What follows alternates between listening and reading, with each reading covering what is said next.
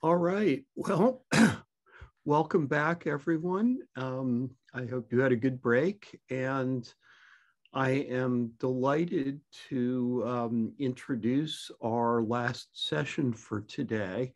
Um, this is a look at the costs of making public access to research data um, a reality, uh, which is something that now is increasingly um, a requirement for uh, various um, funders. We have a wonderful set of speakers, and um, I'm going to turn this over to um, Cynthia Hudson Vitale from ARL. Um, who has done just a wonderful job of uh, sort of pulling this whole thing together and organizing it, uh, and invite her to actually um, uh, introduce everybody and uh, take it away. Great. Thank you, Cliff. And thank you um, for inviting us here to uh, talk about our work on um, uh, institutional expenses for public access to research data. Um, so my name is Cynthia Hudson Vitale, as Cliff said, and I am the Director of Scholars and Scholarship within the Association of Research Libraries.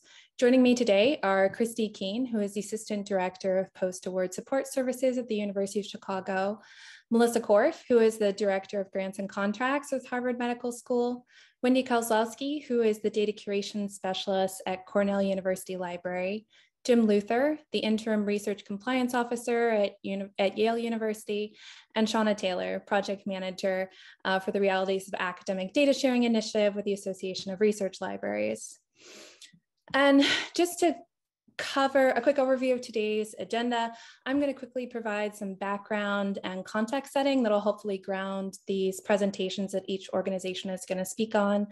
Um, so uh, they will report out on each of their organization's current and collaborative work and initiatives, followed by a brief poll about audience, audience interests and needs for research data expensing information.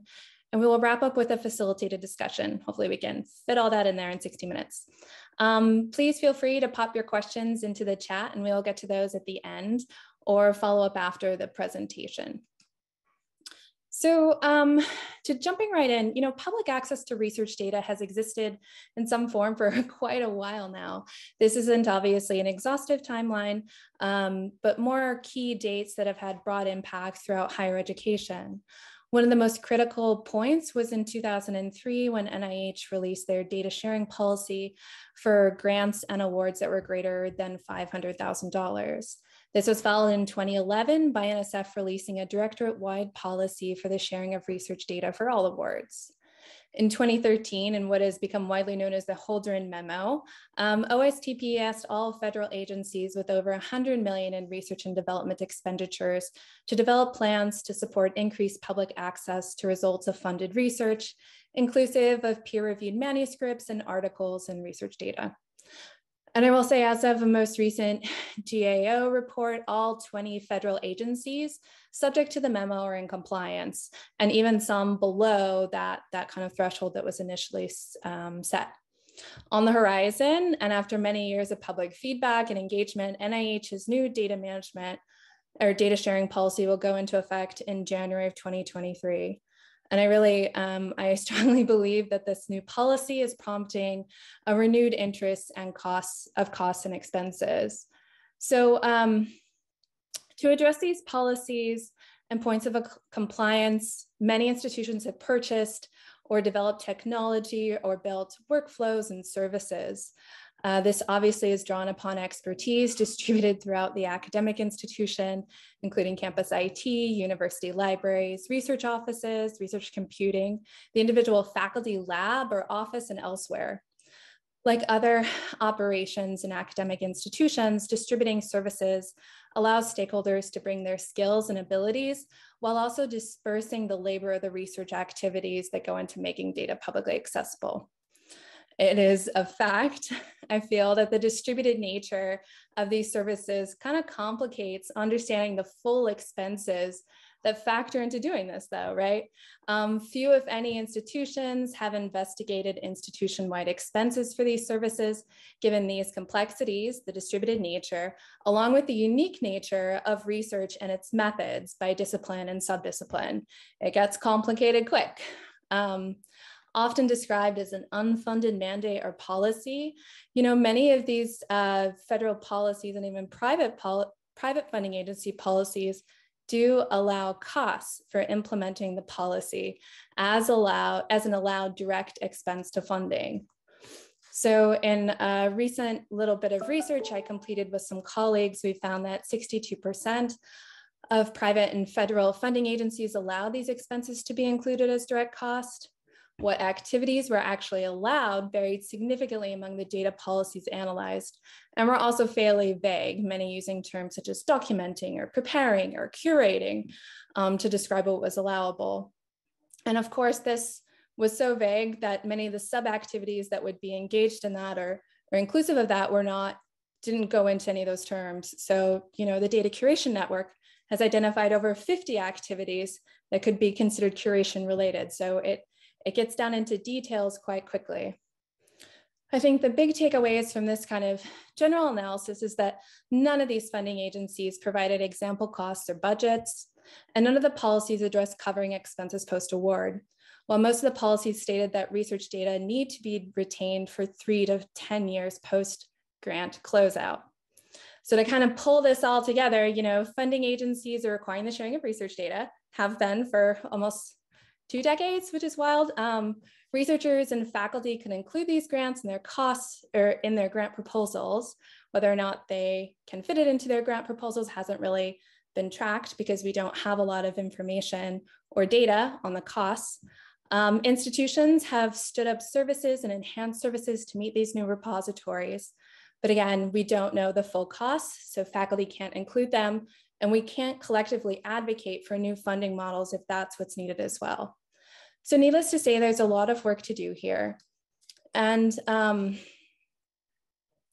we have heard from NIH that they will be releasing additional FAQs and guidance on what researchers should be considering or thinking about with regards to costs for data management and sharing. And we will soon see through the presentations that follow that many higher ed organizations are looking critically at how to account for the institutional costs for public access to research data. And with that, I'm going to turn it over to our first set of speakers, Christy Keene and Melissa Korf, to give us an update on what the Federal Demonstration Partnership has underway. Thank you.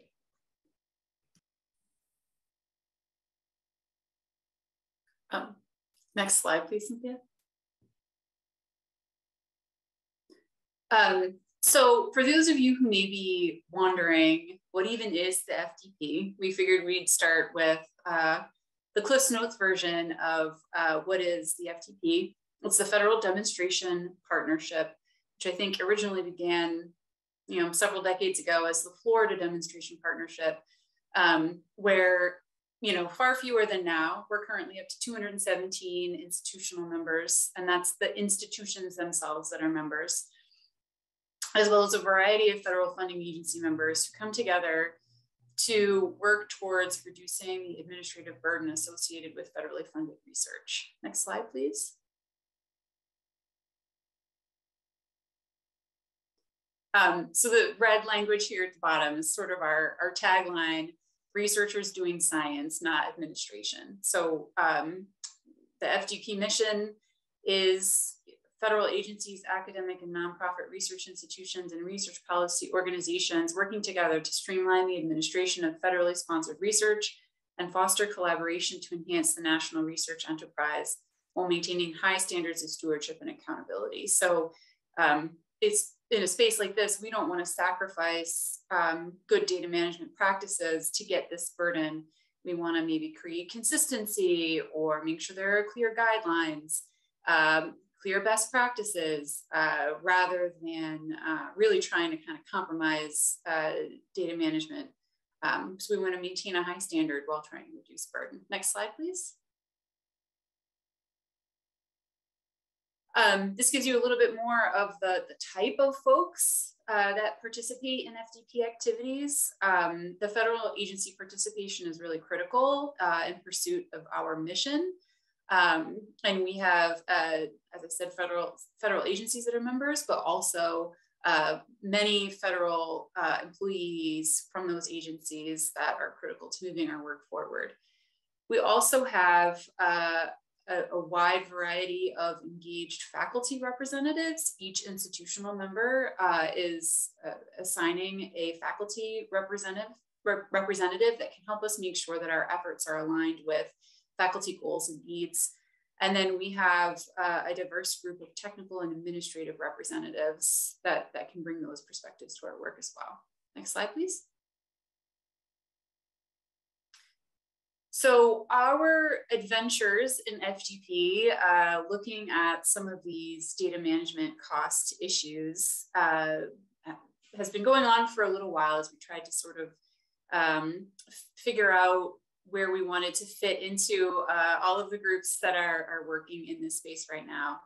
And we did what's called a thought exchange with, uh, first with our faculty representatives so that we could gauge what are the the biggest areas of concern for our faculty? Where are they most worried about being able to cover costs? Um, and uh, this is the, the, the, the, cloud from that thought exchange. You can see that requirements factors really heavily, really understanding the requirements, where are they going to get the funding, budgets um, are, are some major themes and some of their thoughts. And next slide, please. Uh, we asked them specifically if they could indicate their top three areas, their top areas of concern uh, over some of the phases of the data management lifecycle. Um, and the, the, top three, um, pretty much the, the largest was what are they going to do closeout and post closeout, um, in part because once you hit closeout, the grant funds go away. And so how will they support the costs of maintaining that, that data uh, for the longer term so that they can share or use it? Data security. So that comes with like considerations like HIPAA and protected health information or export controls or federal information security requirements. And then followed by that is data management plan monitoring and compliance. Um, so once that award, and, and that again is that closeout and close closeout. So once an award has actually ended, what is enforcement going to look like in making sure that they're continuing to comply with their data management plan, even, even after the award is ended? Um, we also asked for what types of data sets were typically used by our faculty members.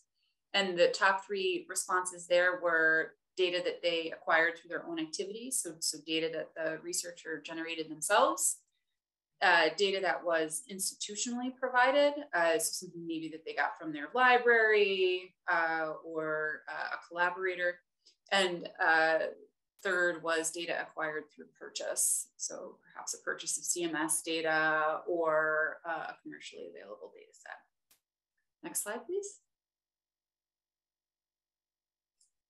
Uh, so for those of you who might not be familiar with Thought Exchange, um, the way it works is it's a little bit like Facebook for Thoughts, uh, where you know you can go in and you can ask one sort of really broad question like, what are you worried about in terms of covering data management sharing costs? And uh, each respondent can share as many thoughts as they like, and then they can kind of upvote uh, or downvote, as the case may be, uh, the thoughts that others have added. And some of the, the main themes that came out of our faculty thought exchange is, um, as, as Cynthia mentioned, that, that this feels like an unfunded mandate. They're worried about, you know, where the funding is going to come from this new requirement, as there doesn't seem like there's funding coming along with it. Um, the, a desire for uniform cross-agency requirements uh, so if every one of the federal funding agencies or every one of the, the research funding agencies has different requirements, it becomes really difficult and burdensome for them to comply. Um, who is going to pay? Where is the funding going to come from? Uh, and along with that, long-term funding for storage and curation. Uh, they really are hoping for clear guidance on how they might be able to budget for these costs. So to the extent that they can uh, ask for grant dollars, uh, how exactly should they budget for those? What are allowable costs? Um, and, and that we are able to explicitly recognize activities associated with data management like data collection, transformation, documentation as legitimate and appropriate allowable direct costs. Um, they're hoping for clear regulations and they're concerned about graduate students being required to do this uh, and not the PI. Um, anecdotally, at my own institution, we have lab data managers uh, for each lab, and it's often like the first graduate student or the last graduate student or postdoc who joined the lab gets sort of voluntold that they're the lab data manager. Um, and, and we want to sort of flip the script on that so that we're really putting resources into data management expertise. Um, and then uh, sort of lower down the line was what are we going to do about repositories? How are we going to find them and sustain them? Uh, worried about the NIH deadline and worried about the culture change that's going to come along with the policy. All right, I'll take it from here. Thank you. Um, so after the faculty thought exchange, we then um, asked our administrative members of FDP what their concerns were related to these um, to this upcoming mandate. Um, as you can see through the word cloud, uh, that plus sign represents F&A. Um, so how are these costs going to be covered um, is our main concern from an administrative perspective. So you can see here, a lot of these do center around the actual costs, um, and you know the management of these um, of this data. Next slide. So from there, uh, we are putting, we have put together a group within FDP to look at uh, all of these areas. Um, we have a, a great group that is made up of data management experts, cost analysis experts, and we also have a federal representative from NIH. Um, so we will um, be meeting routinely and uh, hopefully get some guidance going forward um, ahead of January 2023. Next slide, please. So our, our initial issues that we're going to be working on are exploring cost models. What options do we have? Thinking about F&A, uh, it's clearly not F. So where will these, uh, where will this recovery come from? And importantly, as already mentioned, is quantifying these costs. Um, these are highly distributed, so um, there isn't like a place to go and look up how much X costs for each per, or for each uh, data set. So, and again, as Melissa said, this is throughout the life cycle. It doesn't end when the award ends. Uh, these costs will continue after the grant funding has ended. So uh, where will those costs be covered from that point? And then we will also be uh, working on guidance on drafting data sharing plans and budgeting for these costs at proposal stage. Um, this is part of the mandate that this has to be recognized at proposal. It's not after the fact. Um, so the expectation is that there will be data. So what is that plan? What does it look like at proposal? Uh, whether that is um, awarded or not. Um, so yeah, these these are uh, really important things that we as administrators and faculty are very concerned about. We're very excited to have NIH on board as part of our working group. Um, it, it would not be possible without their perspective as well, and to hear our concerns and those of our faculty. Thank you. Next slide.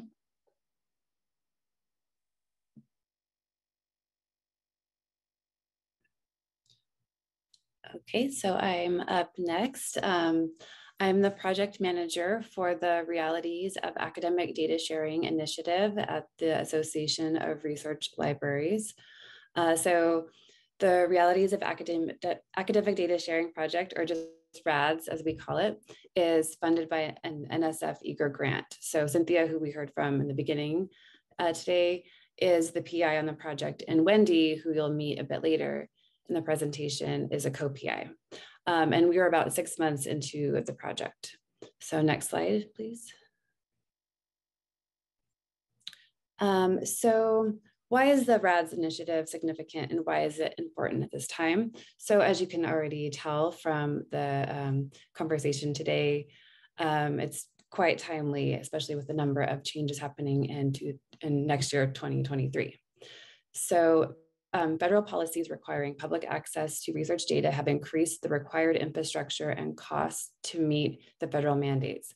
So of particular significance to the RADS project is the shift in the research data landscape since the issue of the 2013 Holdren memo.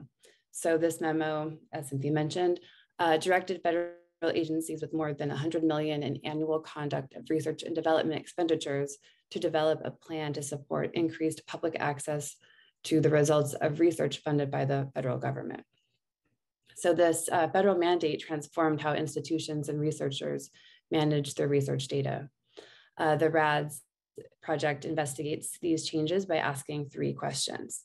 Um, where are researchers sharing their research data and what is the quality of their metadata? Um, how are researchers making decisions about why and how to share research data and what cost do they incur? And what is the cost of the institution to implement federally mandated public access to research data policies? So next slide, please.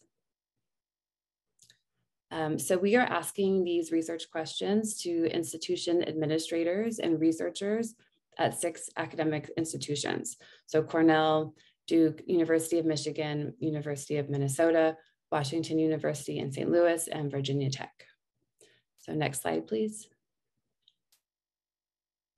Um, so project goals and objectives concerning costing questions have been divided into sort of two workflows um, institutional infrastructure, and researchers themselves. Um, and the researcher workflow kind of builds on the institutional infrastructure foundation, because as we know, our academic institutions support our researchers. Uh, so first, um, RADS researchers conducted, um, within the project, conducted a landscape analysis of existing costing frameworks. So these, they, the frameworks that um, we evaluated are the COGR APARD costing framework, which um, you will hear more about from Jim today. Um, the UK Data Service Data Management Tool and Costing Checklist, the National Academies of Sciences, Engineering, and Medicine Biomedical Data Cost Driver Framework. And there are several others, I'm not gonna list them all here, but you get the idea. We kind of um, looked broadly at what was out there. Um, so several of these frameworks include activities or categories which define public access, activities within the larger cost of data management. So each of these costing frameworks is useful in identifying activities and processes required for public access to research data, but as was already mentioned, none address the entire research lifecycle. So RADS project investigators recognize the need for a more comprehensive understanding of the processes and activities required to make research data publicly accessible in order to then determine their corresponding costs. Uh, next slide, please. So of particular value in parsing out what these activities are is the National Institute of Standards and Technology, or NIST, uh, Research Data Framework, a preliminary framework core. So the NIST framework identifies the research data lifecycle stage, categories within each stage, and over 100 subcategories or activities that may be required to make research data publicly accessible. Uh, next slide, please. Um, so in addition, uh, research data fairness activities are integral into RADS exclusion and inclusion of what is required to make research data publicly accessible. So any activity that is deemed um, deemed necessary to make data or metadata fair are included in our assessment. Um, considering these frameworks and activities, campus mappings of institutional infrastructure were conducted at each of our six academic institutions. RADS researchers understand these frameworks cannot capture all services and activities at each institution, um, and departmental and organizational administrators will be surveyed to surface any activity gaps. Uh, next slide, please.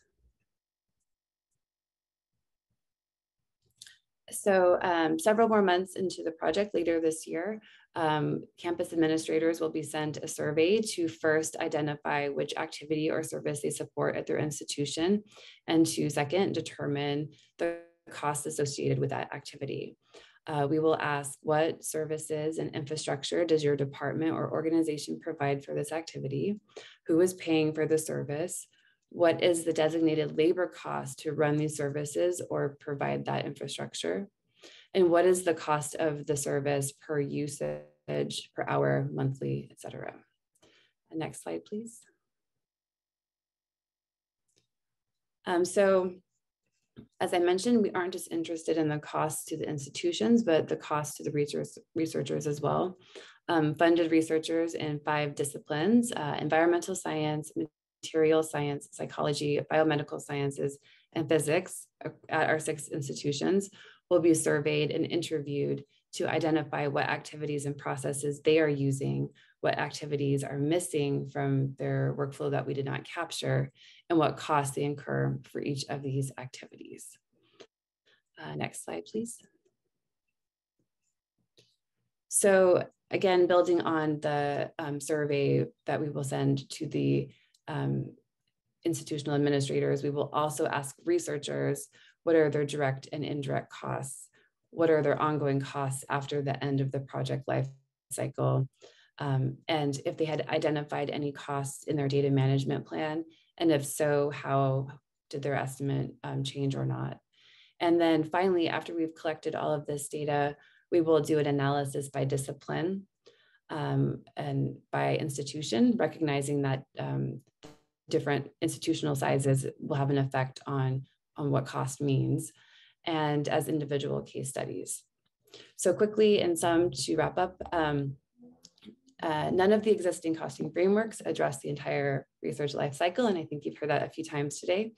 Um, activities for what comprises public access to data should be clearly defined, and costs for public access to data are best captured across project activities as one-time or reoccurring, direct or indirect, and as labor or capital. So that's all I have for you now, and I'll um, turn it over to Jim. Thanks, Shauna. Thanks for this opportunity. I appreciate it. Um, before I jump right into these slides, Shauna has mentioned uh, this group, uh, APARD. Uh, APARD is um, a group um, that was started with AAU and APLU um, in 2016, and APARD stands for Accelerating uh, Public Access to Research Data.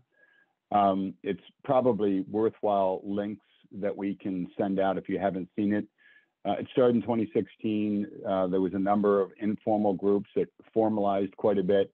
And then in 2018, uh, NSF provided a funding grant and a report was issued um, out of uh, a number of meetings with I think at one point there were 30 universities that met multiple times together and remotely.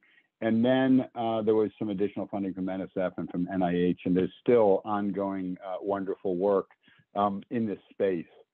And so um, this group, COGR, the slide that you see in front of you, um, I was invited to APARD uh, because at the time I was the chair uh, of the board of this group, the Council on Government Relations.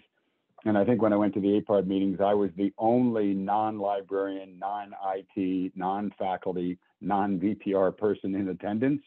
Uh, my background is administration and compliance and costing, and I'll talk a bit about what I mean by that here shortly. Um, but but um, throughout the course of that, had some great discussion about uh, the cost uh, and who should fund this stuff, and that's a bit of what I'm going to talk about here in, in about 10 slides. But very briefly, COGR, if you're not familiar with it, is a group of about 200 leading research universities. Um, COGR considers itself and functions as kind of the national leader in this space uh, with regard to advocacy around um, different um, regulatory issues. Um, and they um, spend a lot of time, as, as, uh, as underlined here, um, doing analyses, developing position papers, interacting with federal partners and so forth. And so um, they also work a great deal with um, directly with the FDP, with AAU and APLU. Next slide. So not knowing whether people understand what we mean by costing, um, I'll, I'll, briefly explain that. Um, I've been, uh, I was at Duke for 30 years. I've since left Duke and am uh, part-time at Yale and part-time uh, at FDP. And when we talk about costing, we talk about how uh, universities and research institutions are going to share the cost of research with the sponsor. Sometimes that's a direct charge if the sponsor pays for something directly, and lots of times it's an indirect cost, uh, also known as F&A or facilities and administration. But, but critical to that is this thing called the administrative cap. Um, uh, universities um, have a cap on its administrative cost of 26%. Uh, many universities are five or six or seven points over that cap because that cap was set at 26% in the early 90s. And what that means is, um, for example, uh, well, when I was at my former institution at Duke, we calculated that of the 900 or almost a billion dollars of research that Duke does, um, Duke University contributes about $125 million to support that research. Uh, that is in cost sharing, that is in unrecovered costs, uh, in the F&A rate, and lots of different things. So as we look at an issue like data management uh, and data uh, uh, open access and public data access, um, the reason I've, I've, written this slide that this is a quintessential costing issue is because it is something that greatly interests the people that are going to advise leadership um, um, and uh, as to how to fund these things. And the reason it's a big deal is because it's potentially a lot of money as you think through the life cycle of um, open access. And, and one of my future slides, I talk about that. As Christy alluded to, um, it could be a direct costing issue where the grant pays for something directly or an indirect or F&A issue. Um, the, the, regulatory environment specifically is evolving, um, although um, as, as Cynthia pointed out, this has been a topic for multiple decades. Um, uh, NIH in particular, although they uh, put the notices out on this new deadline a year or so ago. Um, January 2023 is right around the corner, and there's a lot that needs to be done to figure out how to execute and implement on this, but also how to fund it. Um, I won't go through all of these things because it gets a little technical, but that middle bullet about a complex internal control environment, what I mean by that is if if if this is all about making, if one aspect of, of public access is about making the data available so that individuals can get to it, at a university, that could be a network server that's funded directly on the grant as a direct charge. It could be funded by IT as part of the overall IT infrastructure. It could be um, a purchase on a procurement card that the faculty member gets reimbursed, and that could be capital or, un, or not capital, or it could even be me purchasing uh, uh, um, Amazon cloud uh, space on my own personal visa and, and, getting reimbursed. So capturing those costs, understanding how they're going to be direct or indirect charge are very complex things that institutions are wrestling with right now. And I won't go through the rest of those items, but suffice it to say, it makes it even more complex as you look at um, those indirect cost pools that I allude to are the library, DA is uh, departmental administration, GA is, is uh, general administration, which is often where IT, for example, is funded, operations and maintenance, equipment, and then your research base in general. All complex things as we look at this. Next slide. So before we get into the life cycle, what I wanted to um, take a minute, um, Carrie Wolinetz, who some of you might know, was on point for NIH in the implementation of um, NIH's um, new policy for data management sharing. She has since left and is working with um, OSTP, but she presented at COGR in February 2021. This presentation is out on COGR's website if you want to see the details of it. But but I think the things that really uh, underlie us or, or reinforce to us the importance of this is not only why is open uh, access and public data access important, um, th that is clear. But but um, Carrie was very effective at at mentioning time and time again the the vastness of the culture change that is NIH's goal um, for faculty and postdocs and graduate students in the management of data and the public access of data and, and, and data management plans and curation and everything that goes into that. And, and as uh, you all know, as well as uh, all the presenters know, culture change is hard, it's expensive, it's difficult, there's lots of aspects to it. So again, as we look at these costing issues, if we were implementing just one little element of this, the costing and the magnitude might be one thing, but when, when we're talking about a real culture change about how data becomes so critical and such an important part of the research um, and, and what NIH wants to do with that, it really makes it all the more uh, critical. Next slide, please. I'm not going to go through this next slide at all, but these are the four notices that we're talking about. They came out in October of 2020. They're effective in January 25th. They describe the overall program, and then they have a separate notice, as you can see on the highlights, of what is in the data management plan, what are the allowable costs, and we'll talk a little bit about that 21-015 because it's wonderful that NIH created a notice, um, but it's uh, at this point it's but a nod to really what the details are that we really need to sort out, which is why, as Christy mentioned, there is um, there is uh, an individual from uh, NIH who will actually be on uh, Christy and Melissa's committee. And then there's a discussion of a repository. So really good um, out of the gate, strong messaging on this, um, but but still um, uh, a lot more work that needs to be done. Next slide. When I was working with um, with APARDS, and I'm going to drill into each of these, so you don't need to look too closely at this. Um, one of the things that became very clear to someone who does not understand the details of what is meant by public data access or curation or any of those things was when we talked about costing things, um, oftentimes people were talking about different elements and really didn't know it. Uh, a carpenter saw everything as if it was a woodworking project and a plumber as if it was a, a water problem and so forth. And so um, in one of the meetings with the public access to research data, I created this chart and I'm going to drill into this in two slides. Uh, so next slide. Column A is all the activities, and I just kind of cut that column into pieces. Um, this is probably um, somewhat infantile from the perspective of you all as professionals that manage this. But from a big picture perspective, what we wanted to be clear is that when we were talking about the cost of public data access, we weren't talking just about um, about number nine, which is storage after the end of the grant.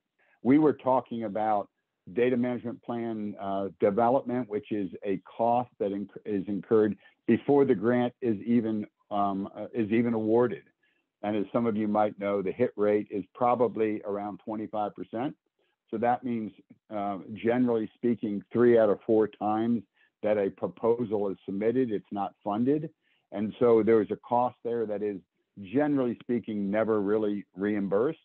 Um, and then you can see as far as that timing column there, some of these things happen during the life of the award, some of them happen post-award and so forth. So again, in the discussions with the public access group, the public access to research uh, people, we were talking through, okay, when we're talking about costing, really what element of this are we talking about? And then we were talking about who's gonna pay for it. Uh, next slide. And that's, um, again, the columns across uh, the top. Um, I just talked about column A, which is the life cycle element, element.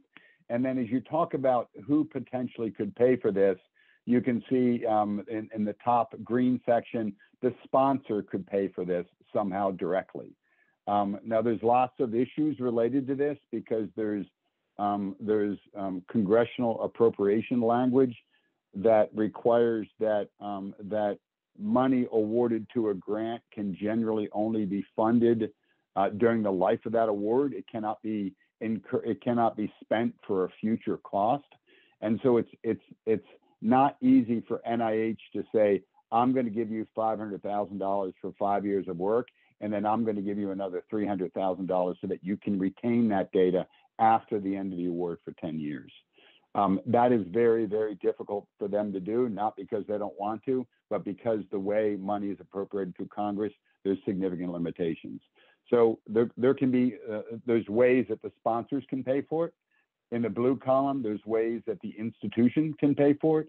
Some of those ways uh, institutions um, can recover it um, if it's part of the indirect cost rate. Um, if, for example, it's in a, a capped cost pool, uh, then the institution might incur $20 million a year. And if all of that is in the capped portion, there's no way for them to recover any of that whatsoever. Uh, and then the, the third big bucket is external repositories. Um, again, that is more about the storage costs during and after, during the award and after the end of the award, but that is another way that the cost could be shared. And so this was all about a construct to determine, hey, what pieces are we talking about during the life cycle? And then when we talk about those elements, um, who are the, the potential payers from a costing perspective? Next slide. So now I wanted to just take, I think I just have two or three slides that are specifically about what COGR is doing. Um, I did briefly look at the list of institutions um, that generally are involved with this group, and I would imagine most of you um, have uh, individuals. Um, most of you, most of your institutions are members of COGR, uh, and most of you have individuals that participate in these meetings especially because it's much easier being online. But even when we were meeting in DC on a regular basis, I would imagine most of you had individuals that went. And so, um, as I mentioned, COGR has expertise in uh, addressing various issues. In this case, um, we've established a work group uh, that is um, that is going to develop the expertise, share with other associations, and by that we mean ARL, AAU, APLU, and so forth and look at the the issues specific to uh, NIH's data management and sharing policy. Uh, and so truly this work group is really focused on readiness for January 2023, although there's broad issues of how addressing this problem is going to address, I'm sorry, this how we address this objective um, will also support many of the other things that we do three big objectives that we're trying to do, deliverables. One is advocacy. So we're going to make sure that we understand what those four notices say, that institutions understand it, that they're as harmonized across institutes as much as possible if they can be. And so there'll be a discussion around advocacy from that space.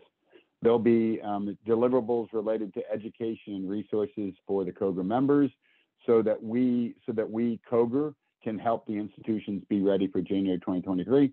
And then there'll be an explicitly a cost of compliance survey and report.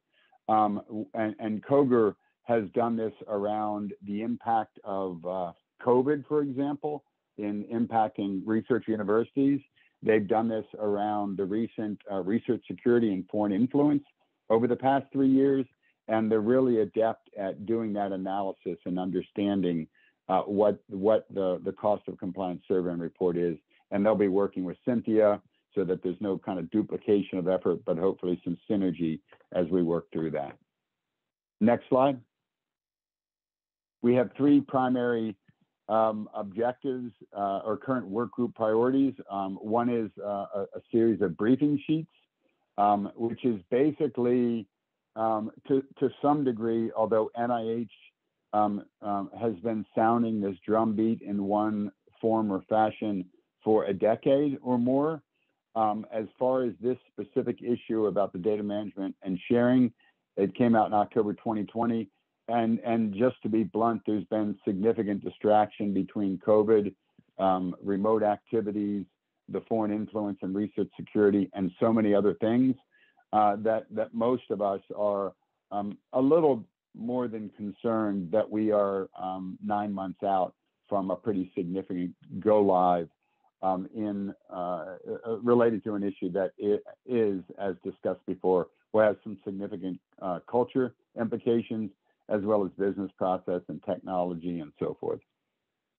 The one is about briefing sheets, and we're creating a briefing sheet to help discuss um, what this issue is with leadership in institutions Specifically, there is some institutional readiness assessments that are being conducted so that institutions can really understand kind of where they are. Uh, it's a little bit parallel to what um, um, Cynthia said earlier with uh, six or seven institutions involved in the NSF grant, uh, but it's it's helping an institution understand um, the diversity of the uh, of the implementation, uh, and by diversity I mean in disciplines, um, oftentimes, um, campus uh, schools and departments are quite different than schools of medicine. School of medicine, even amongst themselves, are very diverse and complicated. because they have institutes and centers, some of which may largely have implemented this if it's genome, genomic and genetic, others that, that really haven't, uh, and, and a very broad continuum. And then lastly, as I said before, we'll be doing some advocacy around the notices. Next slide. This is what the first briefing sheet looks like. Um, we will make sure that we uh, work with Cynthia to share this and share accordingly. This is a, a very early version of it, but it's a, a basically a three-page document that summarizes what is NIH, try, what have they tried to do in this space, and what are they trying to do effective January 2023. Next slide. So this is the slide that you saw earlier. The only thing that's different is the red line in the bottom. And I just kind of wanted to close with this. Um, um, all of us on the costing side um, and uh, on the regulatory side, and I'm sure Christy and Melissa deal with this all the time. We, we want to make sure that we help with reducing burden, managing the regulatory risk, helping from a compliance perspective, but but we also want to stay out of the way of the business of running a university and and sometimes the costing questions um, if not handled adeptly can create issues related that, that could impact internal operations or budget uh, and management decisions.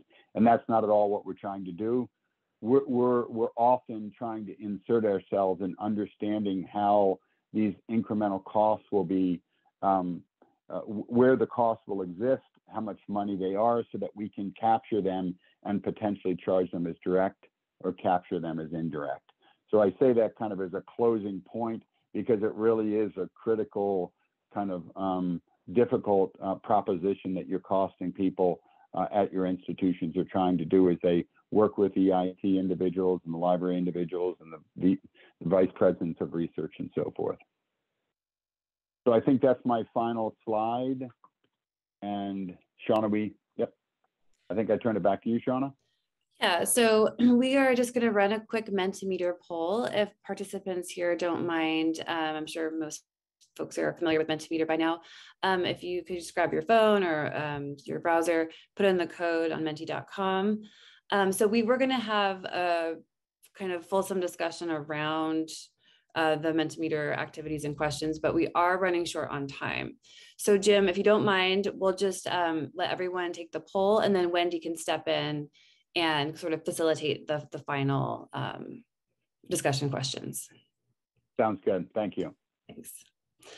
Um, so yeah, so please get started um, and you can scan the QR code there or enter the code. And then we have four questions However, um, question two lists about 19 activities, and these are just a sample of activities that um, we've included from our discussions here today um, surrounding cost. So if you could just kind of glance at those, I know it's a long list and we are running short on time. And then um, the question after that is just sort of centering like, what are you most concerned about in terms of costing from that list? Again, not comprehensive, just to give us a quick um, marker on where your thoughts are at.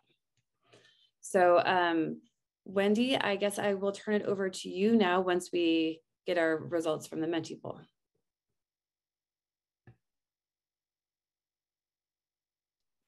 Thanks, Shauna. And I think it'll be really useful as we go through this. And I currently showing the answers to the first questions um, uh, as a point of discussion to display the results. So thank you.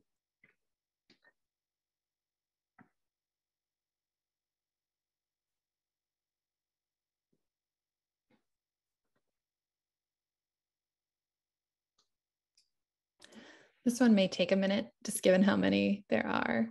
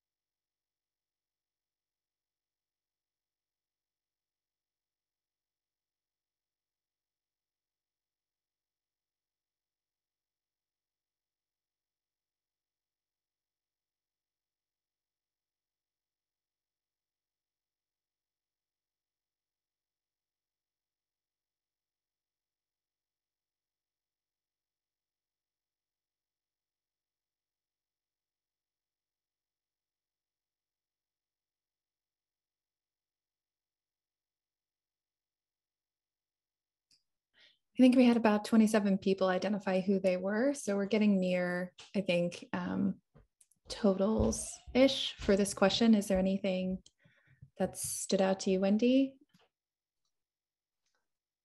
So clearly there are some things that are rising the top, but I also am kind of excited to see that everything has at least one vote. Um, I think that as we've talked about, as you know, brought up by I think every one of the speakers today, this concept of what is actually involved in meeting data sharing requirements is um, huge. There's a lot of pieces to account for. And as we try to gather information in order to provide the services that our researchers and institutions need to be able to support this, that we actually are capturing the full range of activities that might be incurring those costs. So, um, you know, the the one of the requirements of the NIH incoming plan is uh, requiring a, a data, they're referring to it as a data sharing plan instead of a data management plan, but um, much, much of the requirements are going to be similar in there. Um, and it looks like you know, those kind of support services might already be in place. I'd like to hear from people about whether these things that you are already doing are um, incurring costs and whether you're able to capture those costs um, in practice already. I believe there's one more question too. There we go.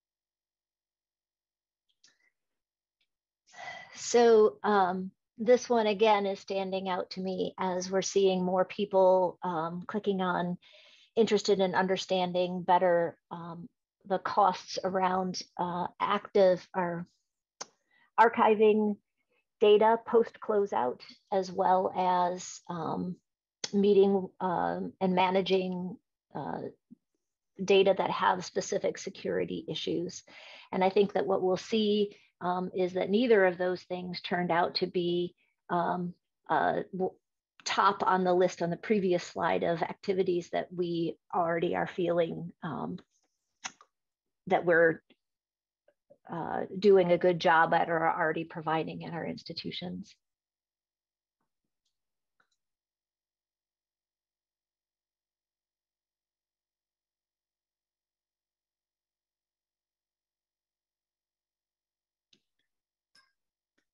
Any last call or should I go on? There's one more kind of open text question. You know, Cynthia, given the time, um, I wonder if we should just um, go on to the discussion and, and leave a few minutes for, I'd like to also give the opportunity for people to ask questions if they have them. Maybe you could put up the prompts of the discussion questions um, instead of going to the, taking the time to do the fourth slide.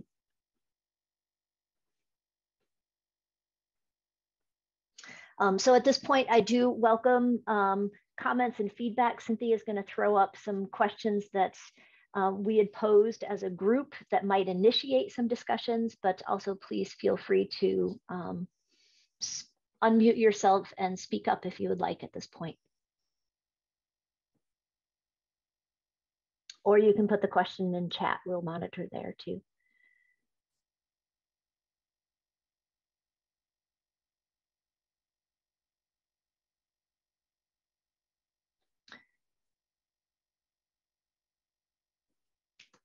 As a librarian coming from um, the science side, one of the biggest challenges that I had in switching roles in my position was uh, learning vocabulary. And I think something that um, I'm really curious to hear people's experiences about is um, making sure that we're speaking a common language amongst the, the, various different players. You know, Jim mentioned institutional versus sponsor versus the researchers themselves, and whether or not, as we try to gather information about costing, if we're understanding one another and um, referring to activities and describing them using the same kind of terms. And if people have thoughts or experiences or have uh, had issues with that in the past, I'd be really interested in hearing about that as well.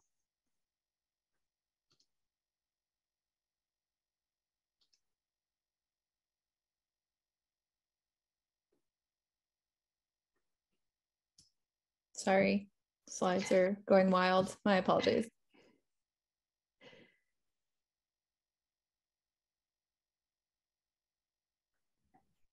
Wendy, I'm not sure if you can see the chat, but we have a plus one to common languages. Some researchers are doing data management, but not necessarily thinking about it in those terms.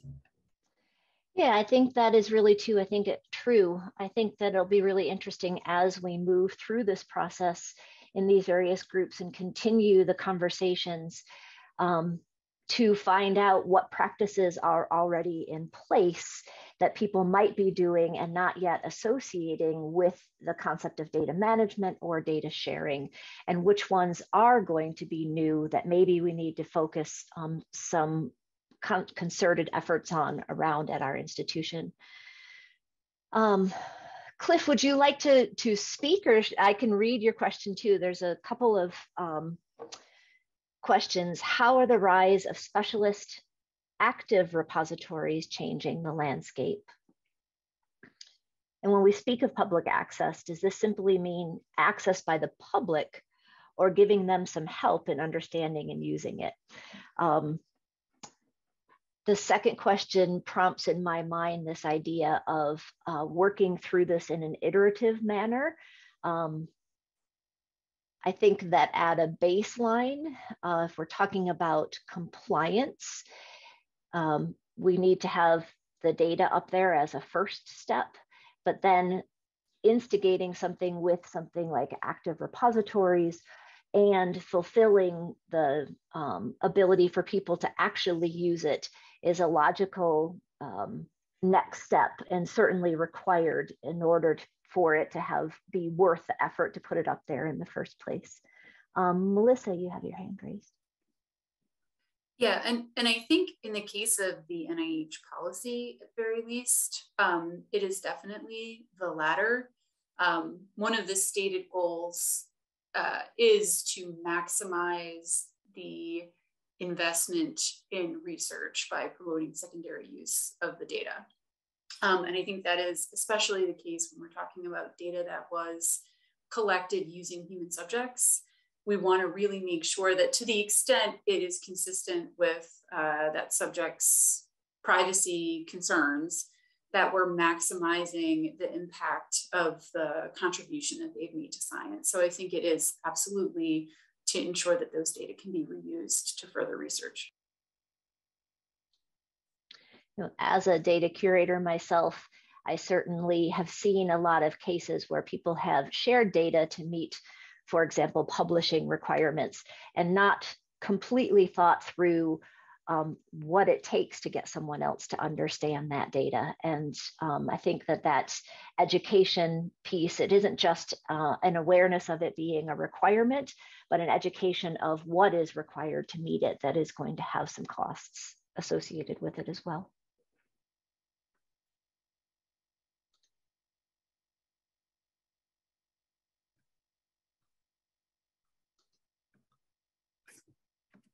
I think we're getting close to time, but um, we I think we could certainly fit in one more question if someone's got it.